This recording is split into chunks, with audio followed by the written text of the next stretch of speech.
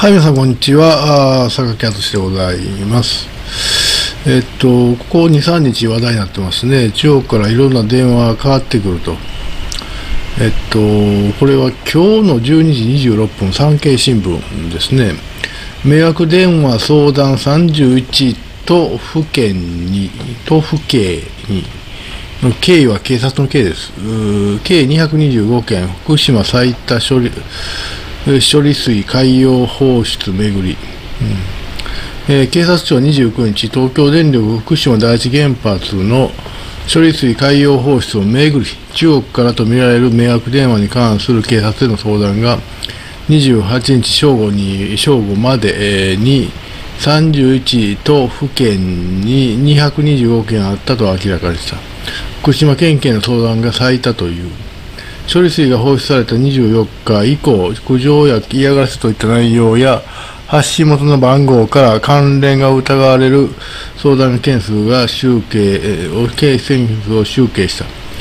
えー、まあ、ほとんどがこれ中国からということですね。え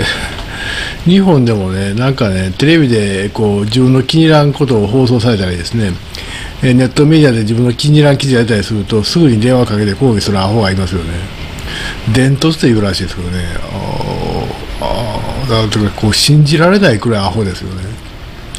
まあ、確かにね気に入らんことがあったらねギャーギャー言いたいって分かりますけど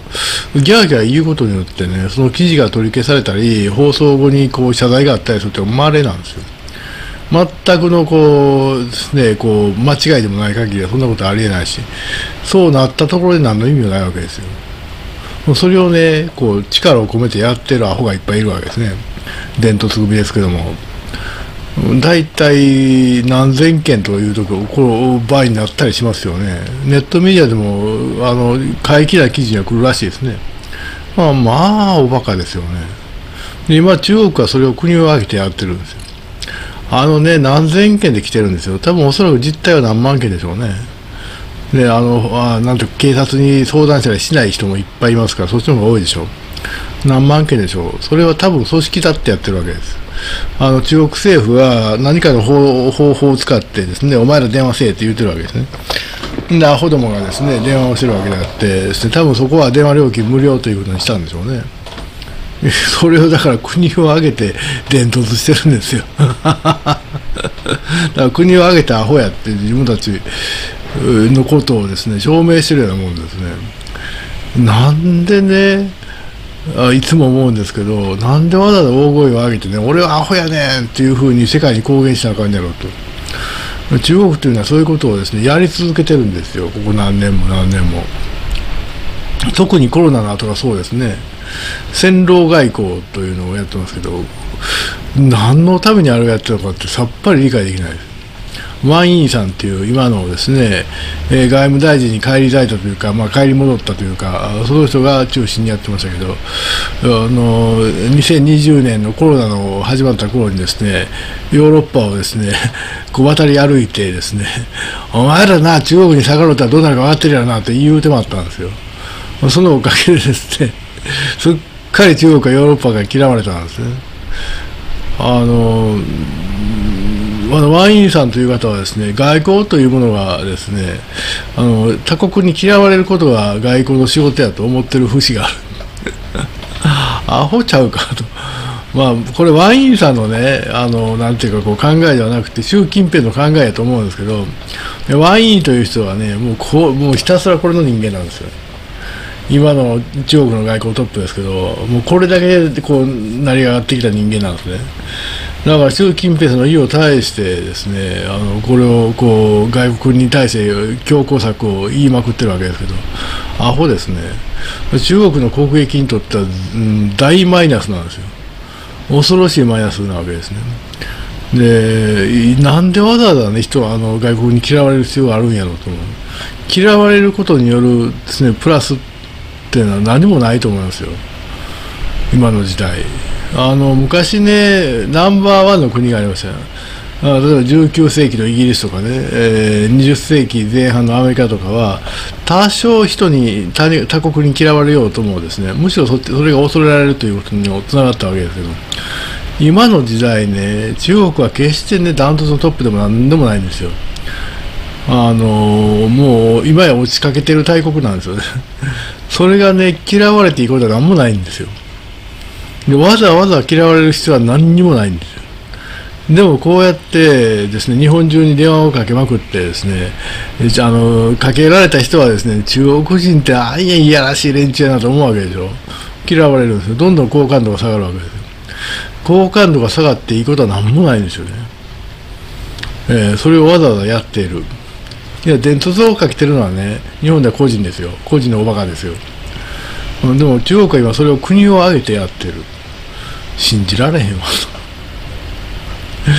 わざわざ嫌われるイメージを下げるということをやってですね、それによって中国は何のね、得も得ないわけですよ。プラス何もないですよ、こんなことして。伝統やるアホも一緒ですよ。個人的には何のあれもないでしょ。しかも電話代かかるかもわからないよ、それ。まあ、仕組みによりますけど。ただのアホですよ。どっちもこっちもただのアホ。でも、やってる本人らは自己満なんでしょうね。えー、あの、ものすごいアホ。ですけどや気づかないしこうかけた本人にね日本のメディアが逆に電話してなんでそんなしてんのって言うたら気持ちええ世界やとかって言うてるわけですねだから中国政府がそういうアホどもをですね先導して伝突やらせてるわけですねあのそもそも伝突するということをモチベーションにしていること自体がアホですけどあの、まあ、中国政府が呼びかけたらですねそのアホの伝突がいっぱいは乗ってよっしゃ日本電話かけたるとかやるんでしょうね。えー、まあまあ低能グループといいますか低能集団といいますか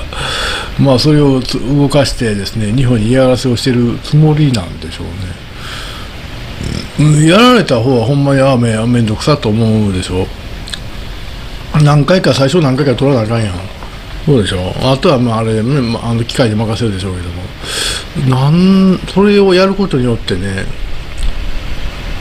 中国という国家に何のメリットをもたらすんでしょうね。嫌われるだけ 日本に嫌われてねいいことがあるんですかね。ここが理解できないんですけども習近平さんという人の頭の中すごく単純にできてるみたいで嫌いなやつは嫌い嫌いなやつはできるだけいじめたんねんという、まあ、そういう感覚なんでしょうね。伝突頭も同じですね。嫌な嫌な気に入らんこと言いよったあいつって言ったらもうそれを徹底的にこうギャギャギャ言うわけですよね。でその相手がですねこう反論できないしないやらないということを念頭に入ってるから本当に傘にかかってギャギャギャギャ言うてるだけでしょ。まあしてもしゃあないですけどそんなね反論なんか、うん、だから、ものすごい低レベルなですねあの行動であって中国という国がね今後ねいやこれではね衰退するやろうなと思いますよ。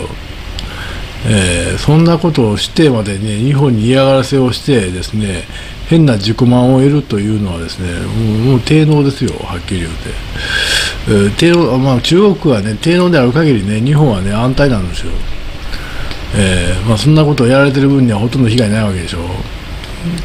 えー、だからそれはそれでですねあの望ましいことではあるんですけどやられてる人たちは気の毒です。はっきり言うてね、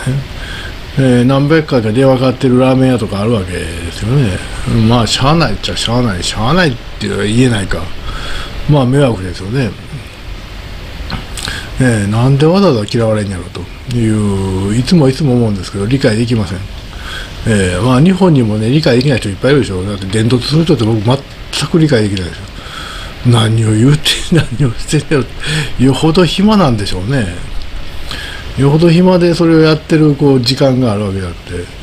昨日も言いましたけどもう僕61なんでねあと14年ぐらいしか生きないというつもりで生きてるんですね日々ね。そうすると1分1秒結構ねもったいないんでしょうね。アホなこと知られへんわと。いや、寝たり食ったりするのはするのもしゃあないですよ。生きるためですから。寝るの気持ちいいし。気持ちいいのはいいんですよ。気持ちいい時間大事大事なんですよ。人に文句言うてる時間っていうのは、ちっとも自分気分良くないですよね、私の場合。文句、まあ、今言いませんけど、だから。えー、それをやってるっていうのはやっぱり病気なんでしょうね。はい。えー、まあ、ということでございましてですね、えー、あの、えーこのですね産経新聞の今読みましたページ、一応貼っておきますんで、まあ、別にこんなん確認してもしょうがないですけど、まあ、いろんなニュース出ています。日本に変な伝統がいっぱい来てるというのがですね、